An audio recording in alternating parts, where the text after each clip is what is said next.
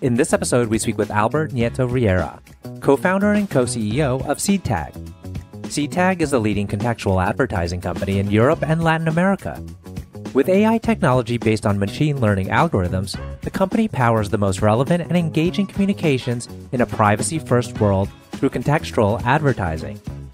The company has raised over $300 million from leading investors including Advent International and Oakley Capital. Seedtag was founded in 2014 by two former Googlers with a clear mission to change how online advertising is done. Today, Seedtag has a large international presence with over 400 employees across offices in Europe, the United States, and Latin America. I'm your host, RJ Lumba. We hope you enjoy the show. RJ Lumba is the managing partner of GrowthCap and the executive chairman of Market Insight Media. He is the host of Growth Investor, a podcast featuring today's best investors, executives, and founders. In the minutes ahead, we'll uncover insights and strategies for accelerating growth and succeeding in business. Albert, great to chat with you. Thanks for joining us. Yeah, thanks for having me. So, I'm very excited to speak with you saw that you did a big round this past summer, 250 million euro you raised from Advent. That's a significant sum. You were founded in 2014, I believe. And so you're scaling, at least in the recent months and probably years, fairly rapidly. First off, for our audience, tell us about your company and what it does. Yeah, so I'm the co-founder of Seedtag. Seedtag is the leading contextual advertising company in Europe and Latin America. We're in the ad tech space. Contextual advertising, for those who doesn't know it, is all these advertising solutions and products that are targeted based on anything that is not related with who is behind the screen. Okay, so we are very used to cookie based targeting and audience targeting. So the ads that you are seeing is based on a profiling that exists about your person based on the navigation that you had in the web. What we do is completely the opposite. So we fully respect your privacy and we understand, thanks to artificial intelligence and machine learning models, the content that you are reading through natural language processing, through computer vision, etc. We classify that content and we deliver ads based on all these signals. So it doesn't matter who is behind the screen. What it matters is what he's reading in real time, what he's showing interest in real time. Excellent. Ad tech and that whole segment it's ebbed and flowed in terms of the interests of technologists, the interests of investors, but you're obviously coming up with something new. What I was interested in is your background leading up to the founding of the company. Could you share with us a little bit about what led you to this idea? Yeah, in terms of the early days, I was working at Google. I was a data analyst in the Madrid office. And my co founder, Jorge, was doing exactly the same job. I mean, Google is a great brand. Uh, when you receive a, an offer from them, you automatically believe that you are very smart. What they achieved in terms of positioning their company in that space is amazing. But I was 28 years old. He was 30 years old when we founded Seedtag. What we felt is that it was not the company for us to really develop and challenge ourselves in our 30s. So we started to discuss some business ideas together Jorge, who is the classical product founder, I'm much more business oriented and people oriented. He is the creative guy. He came up with this idea of transforming editorial images into shoppable images, very similar to the product that Instagram released one or two years ago, that you can really buy any stuff that you can see in the images in Instagram. We created the same product for the open web for all the publishers to really sign up. That was the origins of Seedtag. The problem with that, which I think is a shared story with all the startups that you talk to, is that the original idea didn't work very well. But we were able to pivot and transform our original idea into a very profitable business, discovering first what we called in image advertising, that even if images were not good to deliver actual sales on products, that was not performing images were great to do brand advertising. It was a great asset that it was not used in the web. So we exploit that opportunity. And later on, with all the privacy movement and the third party cookie deprecation that appeared in the web, we realized that the technology that we developed to do in image advertising, it was actually a contextual technology that it could be applied to any placement of the web. And that brought us a lot of scale and a lot of new opportunities. And that's what made Seedtag really big and what it is today. Google is well known for being very difficult to get into. And we do see actually a lot of entrepreneurs that have come out of Google to start their own businesses. But I bet it's still a small percentage. Like the number of people who actually go off and do something on their own and succeed to the extent you have so far is probably still limited. What do you think it is that has enabled you and your co founder to get to this point in the company lifecycle? We are first time entrepreneurs. Everybody asks, uh, what's the formula? I don't believe that there is an actual formula. First of all, you have to try. If you if you don't try, you will never know if you are able to achieve that or not. And then I think building a company and the journey of a company is a set of a lot of small decisions that either take you to success and to the next round or they lead you to failure. So I think we were good at executing our business model we were good at taking the right bets in terms of investing capital in the areas that led us to the next stage. And we always said that we had like a framework to manage our business, which was okay, there are different stages. The first stage is from zero to 5 million, which everything is about product market fit. So you have to focus on having clients that they buy your product and they are happy customers and they repeat. Every effort that you dedicate outside finding product market fit is a wasted effort.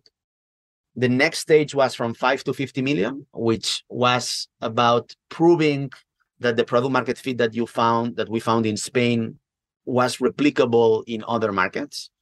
And the stage that we are at the moment is from 50 to 500 million, is to becoming a category leader in your space. Okay. One of the things that is very exciting about us is that we are competing in a space which is contextual advertising that is big, that is growing, and that it doesn't have a clear leader. Because if, if I would be working on search, you would say, okay, there is a company called Google that is doing a pretty decent job. Uh, you're going to have a tough time, but probably you cannot name me who is the contextual advertising leader worldwide. And the reason is because it's not clear. And I think we have this shot of building in the open web global player with global presence that leads contextual advertising which is going to be really big in the near future. And I, I guess that's what Advent International saw.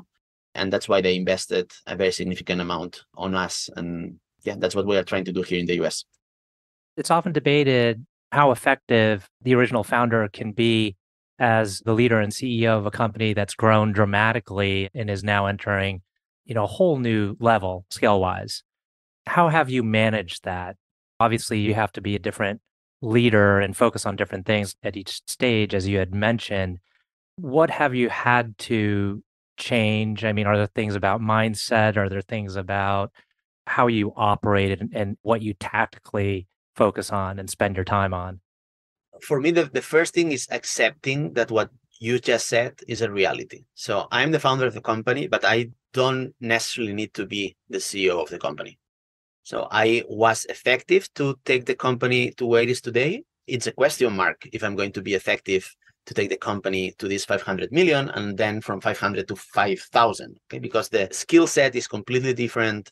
The amount of risk that your board might be willing to take on keeping or removing the original founder is different at every stage. So the first thing is acknowledging that you might not be the best CEO in terms of what I've done to really scale with the company, I'm a big believer of this been there, done that approach. And as a first time founder, I've never done it. So what I've done is try to talk to a lot of CEOs in my industry in particular, but in other industries as well that have faced similar challenges. And be very open on sharing, okay, I, I have a pain point on hiring developers to scale my tech. Okay, I have a pain point on opening outside Europe because what works in Europe doesn't work in Latin America or doesn't work in the US. What have you done? And it's very impressive the amount of information that you can get from others that faced exactly the same problems that you are facing at the moment and they are in general very open to to share their experiences and their advice. And then you you take a little bit from all of them and you try not to repeat those mistakes. You you will do for for sure others but at least you have uh, you're better equipped to do this job. I've heard two different sides to this about when you're interacting with others in the industry and tech and how you seek advice and how much you can disclose about what you're doing, your technology. How are you able to have like open conversations about what you're doing, giving enough context so that someone could give you good advice back? In general, we are very open and very transparent. And that is probably not true at the very edge of the technology and the research that probably the confidentiality of what you are working on should be really critical. For 99% of the companies, I think that's not the case. I think you will win much more by being open about what you are working on, uh, which are the key areas of priority that your company is focusing at the moment, what's working and what's not. And the majority of conversations that I'm having, they are not related to what we should do, what we should develop for our clients. That's typically not the problem.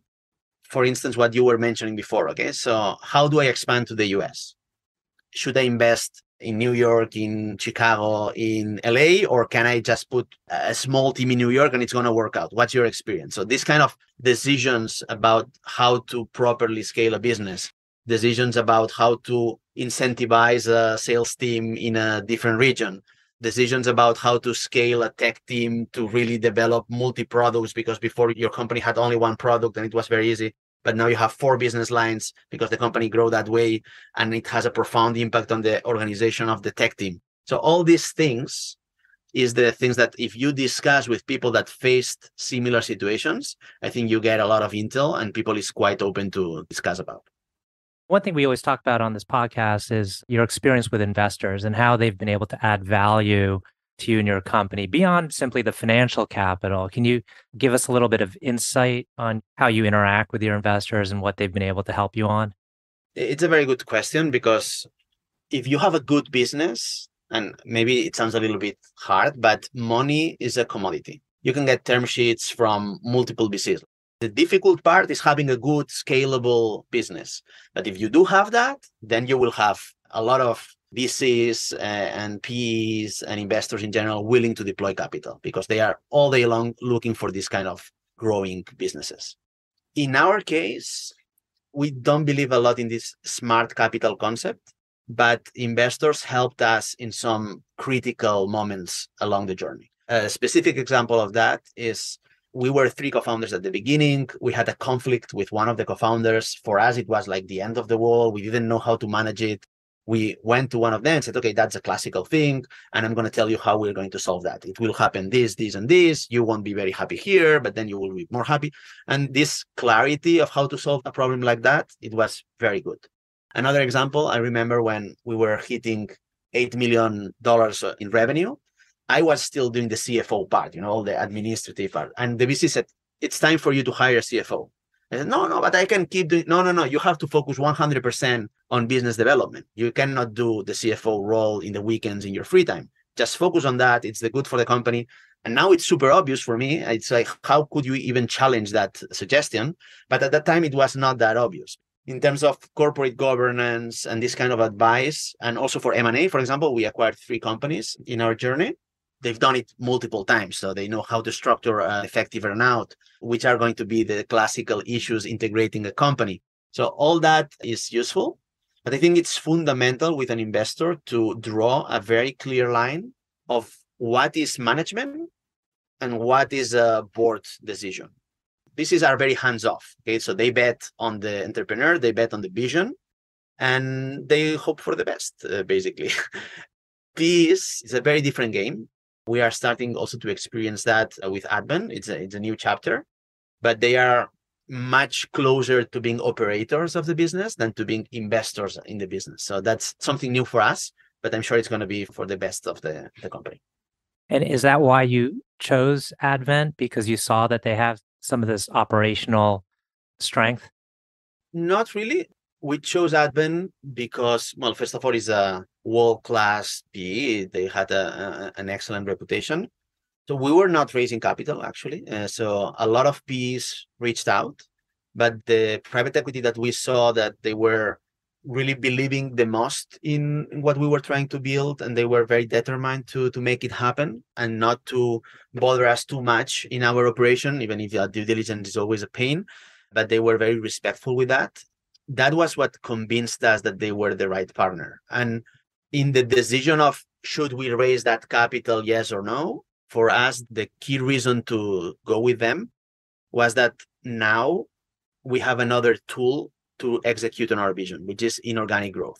So before we always said, okay, we would like to do that. That makes industrial sense, but we don't have the financial power to execute it. So we don't even analyze it. Now the framework is anything that makes industrial sense and that helps you accelerate and execute on your vision. Let's analyze it because we can certainly analyze acquiring public companies that before it was completely out of scope for us. So it changed the amount of ambition and the tools that we have to execute on our vision. And that's a new chapter, and it's very exciting for us. I'd like to end with a couple questions here that I ask almost every guest. One is Can you tell us about a book that you've read that has had a profound impact on you, or you can simply provide a book recommendation? On the business side, the book that I liked the most, I read some of them, but the book I liked the most was the Hard Things About Hard Things about Andreessen Horowitz.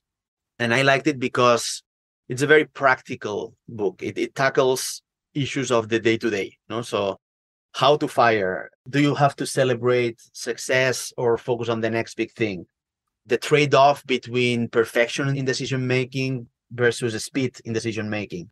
So, all these kind of things that are very practical that you are suffering in yourself on a daily basis it's a really good book with a lot of advice. So I really recommend it, especially to early stage entrepreneurs. Can you tell us about a CEO or leader that you particularly admire? In terms of leader or thinker, I really like Naval. Naval Ravikant, I think he was the founder of AngelList and he's been an investor and participated in a lot of very popular podcasts. Everything he says it resonates a lot to me. And for me is the clarity of the thinking and, and the ideas.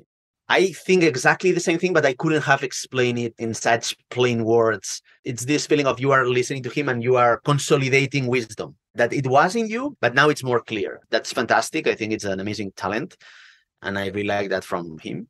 And in terms of ceo that's maybe a, a little bit of a contrarian thought uh, today but still what Elon Musk has done and is doing, working like crazy on trying to solve some of the biggest problems of humanity. I think it's really impressive. And now it's kind of funny that with the acquisition of Twitter, he kind of works in MySpace. So I'm very curious to see what he's able to do at Twitter. And I'm more optimistic than others in terms of what he can achieve in the midterm. So let's see. Excellent. Well, Albert, I want to thank you again for taking the time. It's been a, a wonderful conversation. Thank you. oh, you. yeah, thanks for inviting me.